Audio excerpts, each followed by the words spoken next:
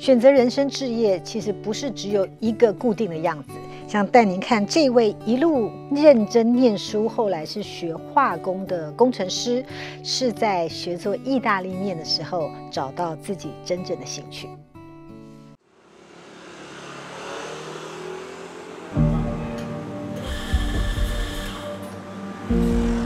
当你在课业上还可以证明自己的时候，你就其实就会绕跟着那个潮流，就是这样子去前进。夜深人静的时候，就开始去想一想，自己是不是还有其他的可能，是人生也许有其他的事情可以去做。这样。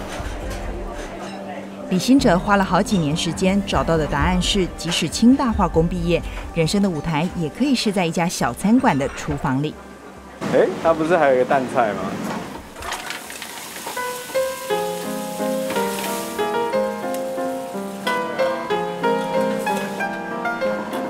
他压腿要帮我注意时间哦。这大概是身为主厨兼老板的他，大半天下来说过最严肃的话了。对李新哲来说，员工是伙伴，是朋友，还能教他很多事。我现在接触很多，就是呃，包括我的员工或者是实习的学生。其实他，我我现在客观跳出来看，我觉得。其实他们的生活层面都比我当初广泛的太多，丰富的太多。因为在他们这个年纪时的李新哲只懂念书，即使从小陪着妈妈做晚餐，早培养出对烹饪的兴趣，却不敢做升学之外其他的生涯想象。考高中的时候就是想说，哎，我要不要去念那个餐饮科？然后考大学的时候就想说，啊，不然去申请个高雄餐饮学院。这样，这些事情都一直在发生，但是。都被家人，或者是都被我自己不够勇敢的内心去阻挡下来。来的声音都会是告诉你说啊，这些事情是很辛苦的啊，然后到底辛苦到什么样的程度？那这些辛苦的东西为什么会这么辛苦？那之后可以造就什么样的不同？毫无社会历练的人哪想得到这些？毕业后顶着名校光环的他，顺理成章进入外商当业务工程师，却越做越没劲。家人朋友看出我的抑郁，对我我不是那种会有忧郁性格的人，对，但是呃车子开得越来越快，然后饭吃得越快，然后在外面已经跟客人讲话讲了八个小时了，然后回到家里自然就不太会想要讲话。头衔收入没让他活成自己喜欢的样子，四年来他不断回想求学经过，自我剖析。理论的课程上面。我是我们全班倒数，可能就是 五十五个人有倒数第五十名之类的。但是遇到这些实验课，我可以是班上可能前三个结束实验，但是实验结果还比班上成绩最好的同学还要好的的那个人。对我既然喜欢美的东西，然后我又喜欢实作，那我可以做什么？对，那重新学习一门艺术，也许是一个太缥缈的一个。一个方向了，对，那所以我就自然联想到我另外一个兴趣就是烹饪。二十七岁那年，他决定改变，只是怎么踏出第一步呢？李新哲先算好积蓄能让他撑多久，再把自己归零，选一个和台湾一样物产丰富又多元开放的地方去好好学料理，那是梦想中的美丽国度——意大利。他一道一道经典的名菜啊，都是他每一个地区地方。当地所盛产的物产，去排列组合之后，所产生出来的一些结果。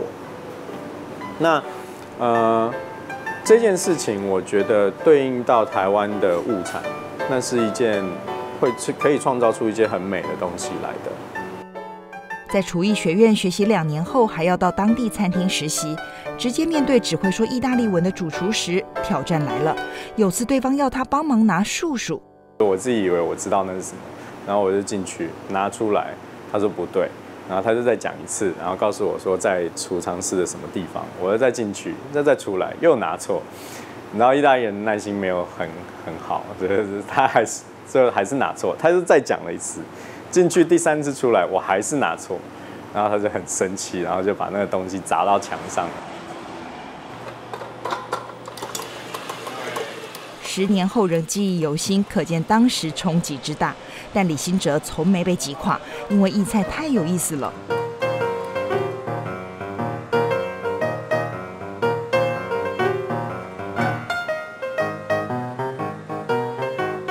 光是意大利面就有好多变化，什么面搭配什么酱料都有规定，面本身还很有学问。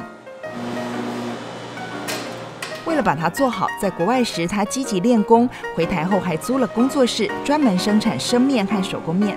那不容易的，生面即使能用机器做，过程中还是得有人在旁盯着看。我们希望是一开始拿起来之后，它是会成型，但是轻轻一拨又散开的状态。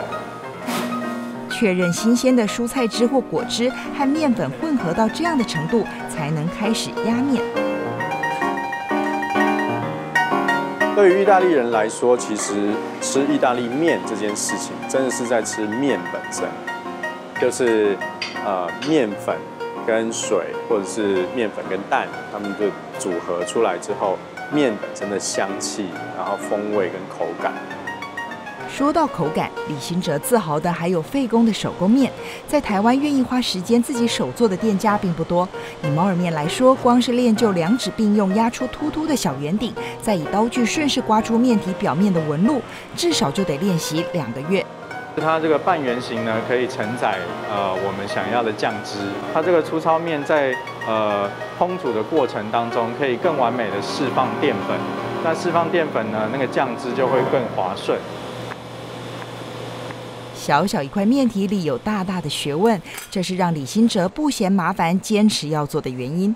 还有一点也令他着迷，既又像雕塑，比如说陶艺。然后我在求学的时候，很喜欢去上这些手作啊，然后关乎于美的事物，似乎回来印证了，就是蛮适合做这件事情。手感不同，会捏出不同个性的面，这有点像是艺术创作。李新哲乐在其中。所以在国外时，他就立志一定要把这绝活带回台湾，让更多人认识正统的意大利面。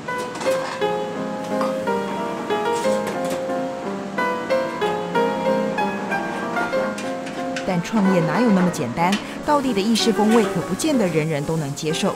像是他在当地学到的蛋黄面，酱料只用蛋黄调 cheese，顶多再撒点胡椒和盐，完全不另外加鲜奶油的。面煮出来跟培根它有余温，所以可以让那个蛋黄呈现半生熟的状态。那它其实会开始慢慢的变成有浓稠度产生。但这浓稠度和口感对台湾消费者来说，可能会有人觉得不够滑顺，吃不惯。所以为了能好好介绍沟通，李新哲决定先从预约制的私厨做起，磨练几年，慢慢站稳脚步，再开餐馆。没想到，二零二零年装潢完工后，疫情考验一波接一波。昨年五月就是最惨的，那时候疫情再度爆发，然后五六七月都是禁止内用的状态。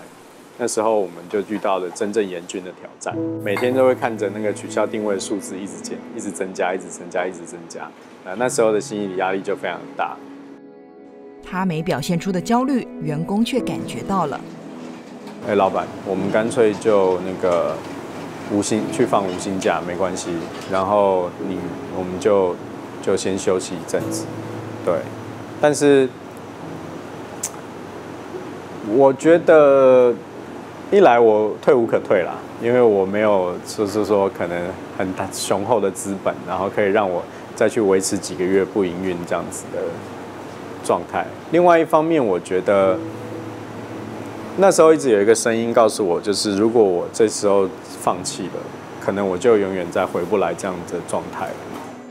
那时骑手不少餐厅歇业后再也没开张，李行哲怕自己步上后尘。对于我来说，这间店就是我整个人的延伸跟投射。它对于我来说不只是一个职业，而是一个置业。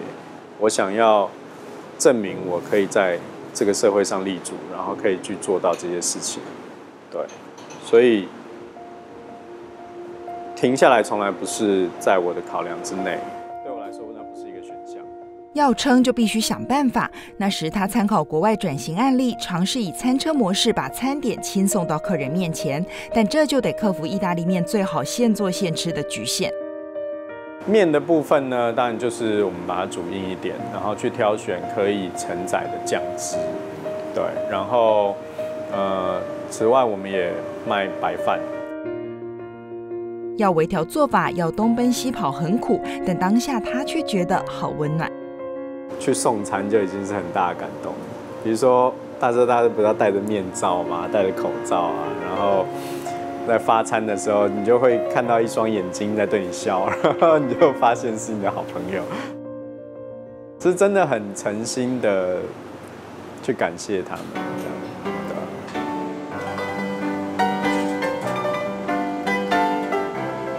欣慰的不只是努力被看见、被肯定，更是身边有一群一起熬过疫情、能共同打拼的好伙伴。小时候的我可能会骄傲。但是现在的我是越来越谦卑，因为我会觉得挑战是会一直一直发生，不要把任何一个阶段当做自己最大的成就，因为那表示你之后不会有再进一步的可能。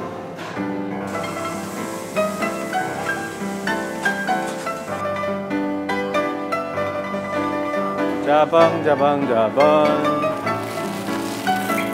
哎，我们下个月来烤个肉吧。现在的他没外商公司的光环和优渥收入，但能不断进步创新，这是他想要的样子，想过的人生。现在的样子应该是你喜欢的样子，除了体重以外，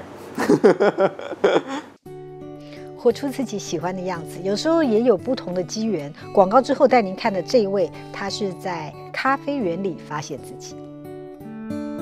跟大家说这是北投的咖啡，大家都会觉得 more calling 啊，希望可以让更多人知道自己住自己住的住的地方，自己生长的环境是真的在生产咖啡的这件事情。